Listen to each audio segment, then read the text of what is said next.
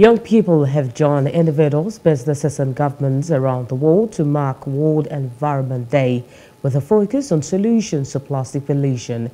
In line with this, the Inspired Youth Network has taken the campaign to one of the beaches in Coney Island, Lagos, with a focus of creating awareness towards reducing plastic use and also promote sustainable waste management practices to mitigate climate change and reduce plastic pollution. Uh, programs manager of the IYN, Oluwatoyin Adejoku, says the implementation of this campaign will lead to a clean environment and positive environmental impact. The Inspired Youth also seek to motivate uh, the public to embrace sustainable waste management practices, reduce greenhouse gas emissions, and limit the amount of plastic waste entering the oceans. We actually underestimate the impact, the negative effects of plastic in their country.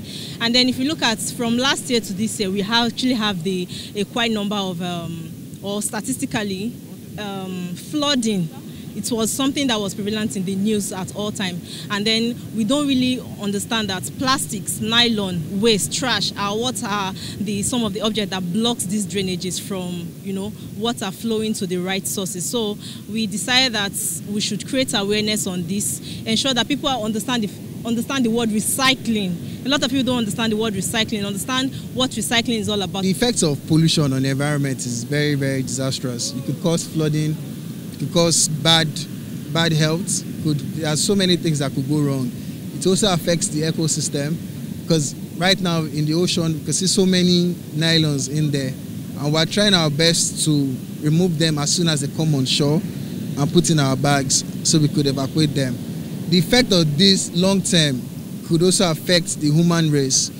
At the end of the day, the ecosystem of the ocean is bad, we won't be able to survive the impact of the environment, we all live with it. This is rainy season again. We're all just going to get houses flooded. Your, your road, the road to your house is going to be flooded. That's the direct impact of not cleaning up your environment. And I think this is something that should happen every single day. Absolutely. Like uh, one of the reasons I'm here today is because we partnered with um, Watobi to launch a program called Insured by Waste, where people can swap their recyclables for both money and health insurance.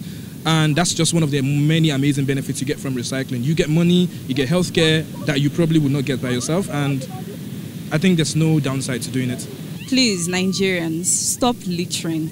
I mean, there are cans, bins, dustbins everywhere. Please throw your dust, your trash in the bin, please, because all of this is not good. See a beautiful place and see all the kind of dirt that is flood coming in from the sea. It's not just on the ground; it's already coming in for this. Because you guys have an habit of throwing things. Please, Nigerians, stop littering.